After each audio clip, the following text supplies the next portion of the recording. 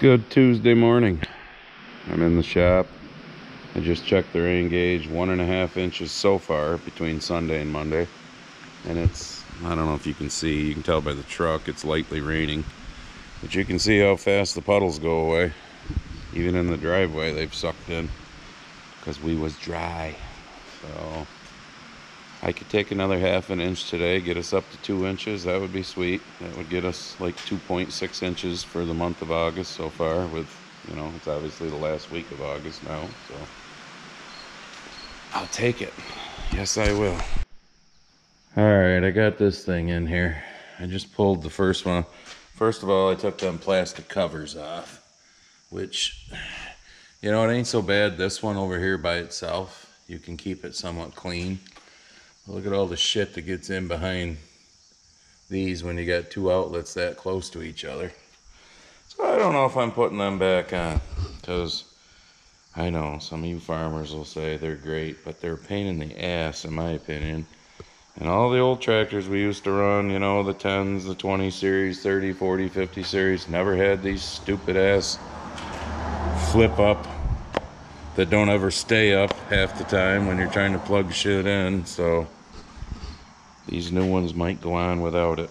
So there's the first one I took off laying there on some shop towels. I'm gonna get them, I'm gonna get them all off because they, they put this light hook up, you know, right in a really special place too to try to get in there with your wrench. So I'm gonna get them all off and wipe that shit down and whatnot and then start putting the new ones in. But I was gonna put the camera up here somewheres, but I mean, if I put the magnet here, it's just, it's hard. Whatever's metal is so close, and this is all, you know, plastic, so. And I can't hold the camera and work the wrench at the same time, so you get the gist of what I'm doing. You'll probably see the end result. All right, try and do this without getting my camera all shitty too. Got the four old ones off. I gotta clean this shit out of here that all got behind those stupid covers. That's why I'm not a big fan of those covers. I got some brake clean I'll spray. Hey. Then I'll put the new ones in. Just get these as clean as I can. Yeah, there's a little chunk of mud there that, and on the threads, but yeah, I'm gonna spray this down with brake clean, try and get some of this shit broke loose. Oh, where's my screwdriver? Oh, bear with me. Get some of this shit out between them that you can't get to with those stupid covers on. But I'm sure they got to charge more for the tractor by putting those covers on because they were a great idea. Just ask the engineer. Yes, if you're an engineer and you're watching you may not like me because I have my issues with how smart engineers do things. But all right, gonna spray it down, get it somewhat clean, start putting the new ones in. All right, I got the two bottom ones on, and yes, I was just sitting here, you know, talking to myself, humming. I put the top on first, and I'm like, you dumbass it's kind of hard to get a wrench on the bottom ones if you already got the top ones on. So yeah, I had to take them off. But for, since I've got a bunch of new subscribers, I also ate some brake clean when I was spraying all this down to get it clean. Phew, tastes good. If there's any of you that are mechanics, okay, you see how a socket would fit on here, but it would have to be an extremely deep well socket. And like I said, that's that's inch and a half. If you look at the old ones that I took off, the flat sides to get a wrench on were out here towards the end. And those were inch and seven eighths. I don't know difference between John Deere and Shortline. If anybody, because I've been looking, knows where you can get a true, true deep well set of sockets. I mean, I'm talking ones that are like three inches deep from like one inch to two inch and I'd like it in three quarter inch drive because I've got deep well sockets, but none of them are. And I've run into three or four different things this year where I needed a really true, you know, because most of the deep well sockets they call deep well, they're like one and a half inches deep, two at the absolute most. So if any of you that are, you know, mechanics, whatever, Walking back over the bench so I can put the camera down. Don't need to break it. Let me know in the comments, email, DM me on Instagram, whatever. I've been looking. I can't find any. I've called some companies, but so any of you are mechanics who can help me out with that, let me know. All right, two new outlets in for you non-farmers. You know, this is one outlet. This is another outlet. These are your hydraulic blocks. What I mean by that is hydraulic hoses go into that. You control whatever it is behind you, you know, like if it's an implement that needs to be lifted and lowered and stuff like that. Thought about putting this back on, but look at behind it. No thank you. Great idea, John Deere. Way to, way to store mud and shit. And somebody just pulled in my driveway. All right, we are done. I got my light back in, although these would have been, I could have got to these easier, the new ones, because like I said, the the square parts to put the wrench on are down there, where the old ones were up here right in the way, so. Got the light back on, got all that bullshit hose menagerie pulled out of there that, you know, was supposed to drip into that little container that, yeah, that always worked really good. I see no reason for them to leak. I mean, I've got them snugged up. They're O-ring on the inside. I really don't have anything hydraulic sitting around to back it up to and hook up to at the moment to see. So, I don't know. They'll be fine. So, we'll obviously find out in the spring whether or not they work, which I know they're going to work, but no, the plastic cover thing. Yeah, that's uh, that's over there in the circular file somewhere. Yeah, great idea, John Deere. I'm sure you got hundred dollars more for the tractor when you put those on. Like I said a little while ago, this one stays fairly clean.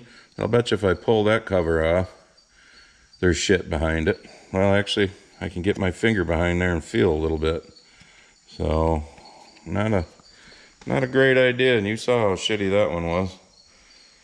So that's done. Now I just got to clean up tools. Wipe tools down before I put them away. Yes, I don't like putting greasy, shitty tools because, you know, as you can see.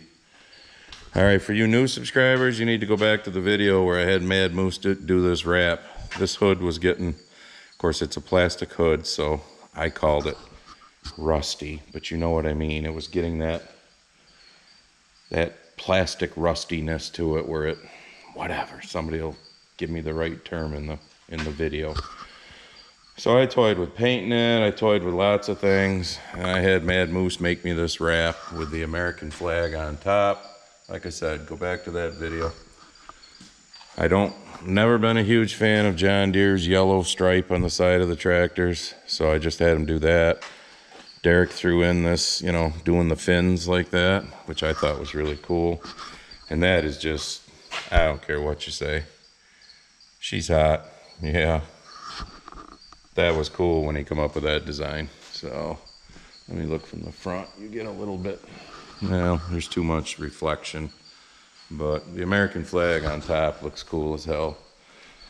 But so that's what we did with that tractor. No, I've had people say, You're gonna do that with every tractor? No. That hood needed something done with it. And even though this tractor doesn't get a lot of use, it goes on my sprayer. I spray with it. Sits on augers in the fall when we're loading corn out as we're filling bins because we don't have enough bin space, so we have to sell so much in the fall. So it doesn't get a ton of work, but I just, I've always loved this little tractor. I used to pull that eight row planter with it for a year or two before I switched over to the 7230. And it did it. It, it had the nuts to do it. It just doesn't have the body size. Yeah. Well, speaking of body size, talking about some of the libtards that make their comments. Okay, I'm like, I'm not skinny, you know, but I'm not fat. Could I lose 20 pounds? Sure, I weigh about 220, 225. And I smoke my little cigars, as you've seen. There was one commenter that said, I won't be around very long. And I can't remember how he put it. Uh, I will become dust of the earth or some fucked up thing in plain English. Because I need to lose 100 pounds and quit smoking. Well, I'm sure I could probably quit smoking. But I'm not so sure if, you know, weighing 120 pounds would be all that great. But hey, whatever, dude. I mean, you be you. I'll be me. So, all right, this is accomplished. This can go get parked. Well, gotta clean my shit up first, then I can go get parked. And I don't know, whatever else I put on this, I put on it. All right, this low pressure that's been spinning around us for the last two, three days is dropping some more rain. The sun was out a few minutes ago, so I'm uh, I'm just gonna end this video because I don't want it to be super long. But yes, I don't always bitch in my videos. Oh, hey, hang on. Got a little shitty there on the on the lens, but so yes, you will see farming stuff too. You know, so I hope you subscribe and like that too. You're not just here for my bitching, but you will get that too, though. Because hey, that's me.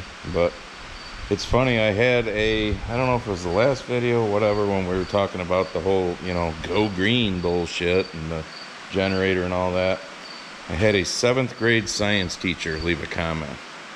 Well, I'll tell you what, I'm glad to see that there's some teachers out there that aren't, you know, into just the indoctrination of our kids today.